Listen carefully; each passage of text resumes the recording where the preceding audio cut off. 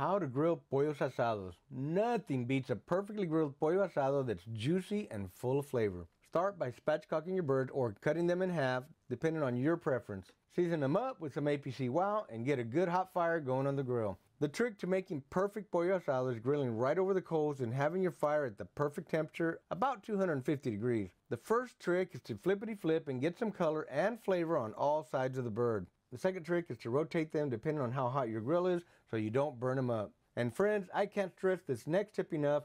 Use a meat thermometer to pull perfectly at 165 degrees. Slice them up like a cleaver like the restaurants do. Plate it with some rice and beans and mmm, mm, that's some epic eating right there. Toma!